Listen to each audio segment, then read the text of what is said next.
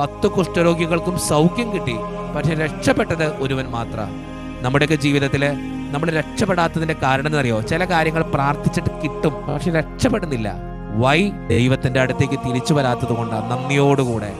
ചിലരങ്ങനെയല്ലേ? ഒരു കാര്യം സാധിച്ചു കിട്ടിയ പിന്നെ തിരിഞ്ഞോട്ടം ഉണ്ടാവില്ല. നന്ദി നന്ദിയുടെ ഒരു വാക്ക് പോലും പറയാൻ മടി കാണിക്കുന്നവരാ നമ്മളൊക്കെ അല്ലേ? നമ്മളൊക്കെ അങ്ങനെയാ. പക്ഷേ നിന്റെ ജീവിതത്തിൽ രക്ഷയുണ്ടാകണമെങ്കിൽ നീ തിരിച്ചു വന്ന് തമ്പരാന്റെ മുമ്പിൽ ഇരിക്കണം. അത്ഭുതങ്ങളുണ്ടാകും അടയാളങ്ങളുണ്ടാകും. ചിലരുടെയൊക്കെ ജീവിതത്തിൽ ദൈവം അത്ഭുതങ്ങളൊക്കെ പ്രവർത്തിക്കുന്നുണ്ട് അല്ലേ? പക്ഷെ രക്ഷപ്പെടുന്നില്ല. വൈ? അതിന്റെ കാരണം ഇത്രയേ ഉള്ളൂ. നീ ദൈവത്തിന്റെ അടുത്ത് പിന്നെയും വന്നിരിക്കുന്നില്ല എന്നുള്ളത് ഏറ്റവും വലിയ വസ്തുതയാണ് നീ രക്ഷപ്പെടാത്തതിന്റെ കാരണം. നമ്മളൊന്ന് ചിന്തിച്ചു നോക്കേ എന്തോരം അത്ഭുതങ്ങൾ നമ്മുടെ ജീവിതത്തിൽ നടന്നിട്ടുണ്ട്. പിന്നെയും അന്ന് ദൈവത്തിന്റെ മുമ്പിൽ ഇരിക്കേണ്ട. ഒരു ഒരു ഒരു പരീക്ഷ പാസ്സായി. പാസ്സായി കഴിഞ്ഞു കഴിഞ്ഞു. പിന്നെ പള്ളി പോലൊക്കെ നിന്നു.